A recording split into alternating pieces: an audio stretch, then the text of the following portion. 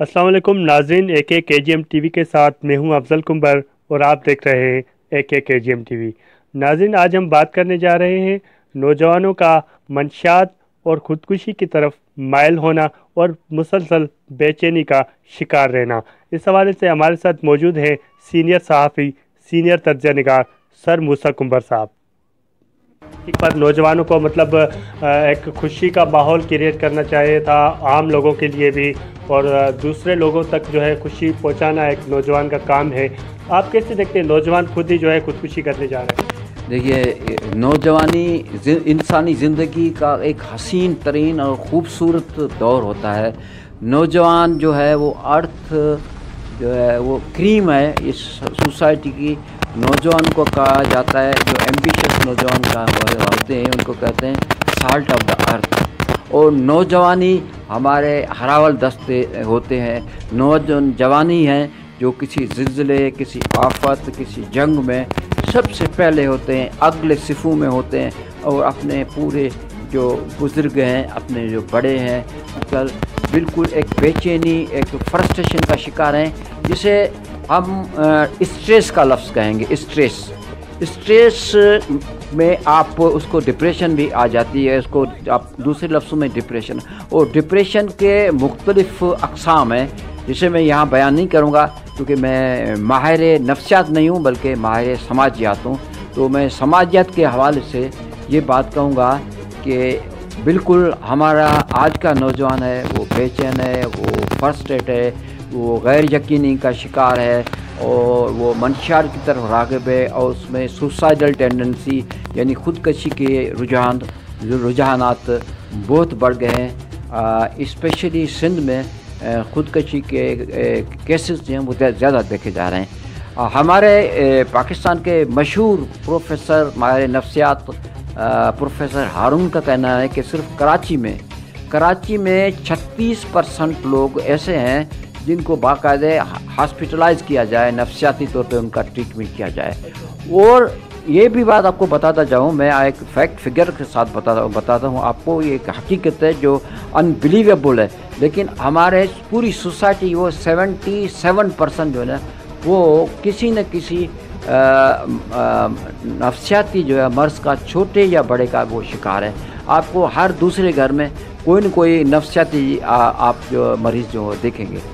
तो इसके इसबाब दो तीन किस्म के हैं। एक तो इसबाब जो हैं, वो केमे केमिस्ट्री में आते हैं। जैसे हमारे माशरे में एक ही ख़ानदान में शादी करना, एक ही कम्युनिटी में शादी करना तो एक ही ख़ानदान और एक ही कम्युनिटी में अगर डिप्रेशन चली आ रही है, अगर स्ट्रेस चला आ रहा है, अगर एग्रेशन चली आ रही है तो वो ट्रांसफ़र हो जाती है। बिल्कुल ये हेरिडिटी और ये केमिकल जो है रीज़न है।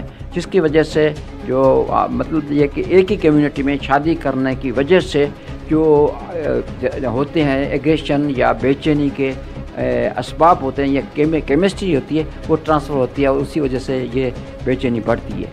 तो ये तो हुआ आ, आ, मतलब इसका केमिकल फैक्टर दूसरा मेन जो है वो है सोसाइटी अगर सोसाइटी स्टेबल होती है तो वो शख्स वो नौजवान जिसमें डिप्रेशन या स्ट्रेस का रुझान भी हो, लेकिन सोसाइटी स्टेबल होती है तो वो रुझान भी ख़त्म हो जाएगा।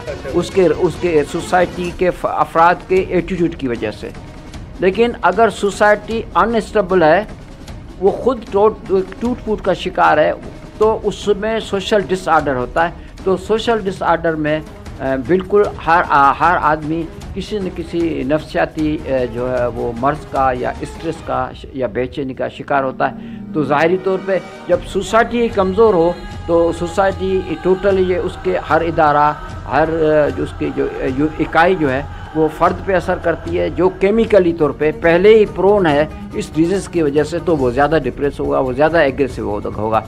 तो हमारी जो सोसाइटी है वो एक स्टेबल सोसाइटी नहीं है, इसके इसबाब इसबाब है। नंबर वन के गुड गवर्नमेंट गवर्नेंस यहाँ पे गुड गवर्नेंस नहीं है।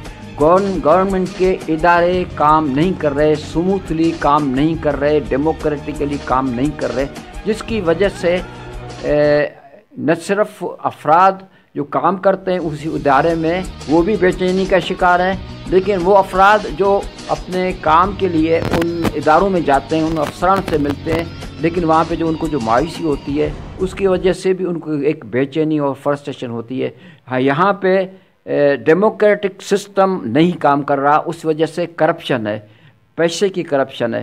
तो उस पैसे की करप्शन की वजह से भी एक एक बेचैनी होती है, किसी के पास पैसा नहीं है, उसका काम नहीं होता तो वो मायूस होता है। और उस, उसके अलावा हमारे जो दूसरे सोशल फैक्टर्स ये हैं कि हमारी सोसाइटी को इस तरह से बनाया गया है ये फॉरेन पॉलिसी ये हमारे जो बड़े बिग पावर हैं दुनिया के चाइना है, जैसे अमेरिका है, वो उनके अपने एक मफादात हैं, वो उन्होंने अपने इस Pakistan is is a rich country with resource of petrol gas coal and many other things minerals so वो वो पाकिस्तान वो सेंट्रल पॉइंट है अमेरिका और चाइना के लिए। तो उन्होंने एक ऐसा सिस्टम उन्होंने बनाया होता है, हमेशा साम्राज्य कुतें ऐसा सिस्टम बना, बनाती हैं कि एक तबके या एक सूबे को वो आगे बढ़ा देती हैं उसको वेल डेवलप कर देती हैं, लेकिन दूसरे सूबे या दूसरे अफराद जो है, उनको जो है वो बैकवर्ड कर देती हैं। तो जो बैकवर्ड इलाका होता है वहाँ पे नेचुरली जो है वो डेवलपमेंट नहीं होती वहाँ पे एजुकेशन नहीं होती स्कूलिंग हो, नहीं होती जॉब अपॉर्चुनिटीज़ हो, नहीं होती वहाँ पे करप्शन होती है वहाँ पे अकर अकरबा परवरी होती है तो वो वो फैक्टर्स जो है वो यहाँ पे स्पेशली ये सिंध में है अच्छा। सिंध में इन फैक्टरों की वजह से हर पढ़ा लिखा आदमी अगर वो एम फिल भी कर जाए तो वो गैर यकीन का शिकार होता कि मुझे नौकरी मिलेगी या नहीं या मिलेगी या मुझे बाईपास करके किसी जो नेपोटिज्म और फेवरेटिज्म जो होता है यानी अपने आप अपनों को नवाजना ये अपनों को नवाजने की वजह से एक अच्छा खासा नौजवान जो है वो रह जाता है अपनी मेरिट के बावजूद एक अच्छी जॉब से। तो ला, लाजमी तौर पे वो बेचैन भी हो सकता है वो खुदकशी का भी शिकार हो सकता है। अच्छा सर इतनी सारी खराबियाँ जो हैं वो हमारे माशरे में मौजूद हैं। इनके बावजूद आप कैसे गाइड करेंगे आजकल के नौजवान को कि वो अपनी कैसे इन बीमारियों से, इन वबा, एक किस्म की वबा है कि मतलब खुदकुशी करना या फिर मंशियात की तरफ़ जाना, उससे कैसे बचा जाए, कैसे गाइड करते हैं आप? देखिए, मंशियात जो है, उसमें क्या होता है कि आदमी की केमिस्ट्री बढ़ जाती है। जैसे जैसे शराब पीना, जैसे हीरोइन या ये ये चीज़ें होती हैं उसमें या ये होता है, हमारे अंदर, हमारी बॉडी में कोई डॉक्टर साहब वो बात कर सकते हैं, लेकिन मैं भी जो कुछ जानता हूँ कि एक कुछ हारमोन्स होते हैं वो रिलीज़ होते हैं, जो हमें खुश रखते हैं, हमारा मूड अच्छा रखते हैं और हमें कुछ करने के लिए आमादा करते हैं।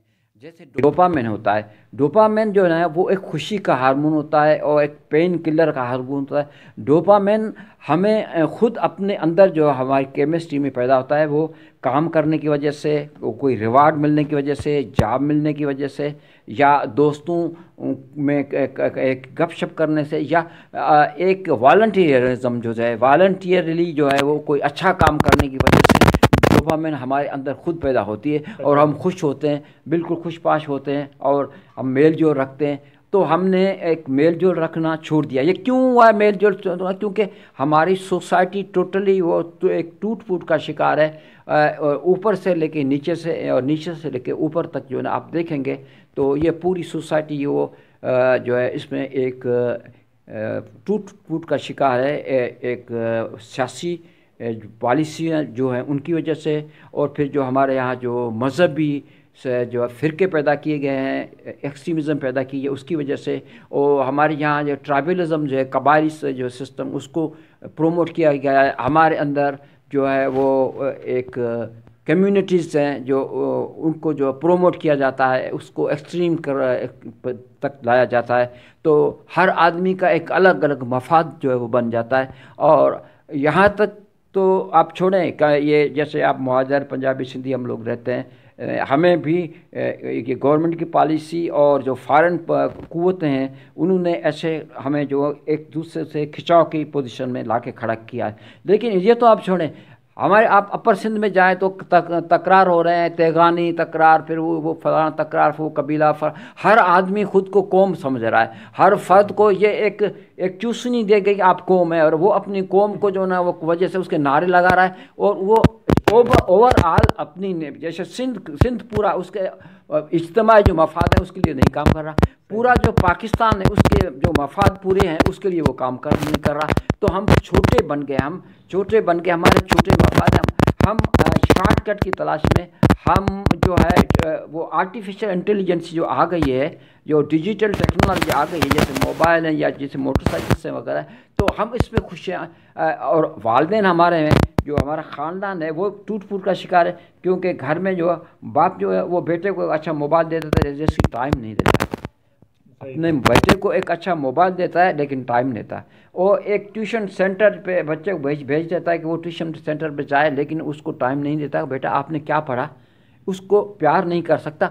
हमारे बच्चे ये प्यार के जो है ना वो प्यासी हैं। यंगस्टर प्यार की प्यार के प्यास हैं। यंगस्टर एक प्रोटेक्शन एक फादर फिगर जो है जैसे टीचर फादर फिगर होता है फा, बाप फादर फिगर होता है टीचर फादर फिगर होता है। एक कम्युनिटी में एक फादर फिगर होता है। हाई स्कूल में कॉलेज में यूनिवर्सिटी में एक फादर फिगर होता है जिससे हम जो इंस्पायरेशन लेते हैं जिससे हमें सेंस ऑफ़ प्रोटेक्शन होता है वो ख़त्म हो चुके हैं। फादर फिगर या आइडियल फिगर हमारी सोसाइटी में ख़त्म हो गए, जिसकी वजह से नौजवान बिल्कुल बेचैन है। कोई कोई उसे गाय, कौन गाइड करे? आप अच्छे स्कूल में भेजें, वो बिल्कुल इंग्लिश अच्छी बोलेगा फ़र्स्ट क्लास लेकिन उसकी तरबियत क्या हुई?